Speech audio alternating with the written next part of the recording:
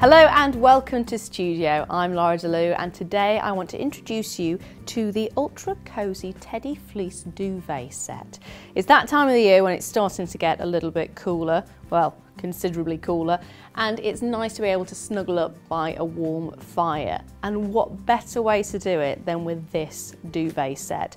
Now, it comes in single, double and king sized and it is made with brushed cotton which has a beautiful texture. It is just like having a cuddly fuzzy teddy bear. It's soft, it's durable and it's beautiful. It comes in both grey and cream. And if you want to add a little bit extra to your duvet set, you can get yourself a boudoir cushion cover as well. All of these are available right now at Studio.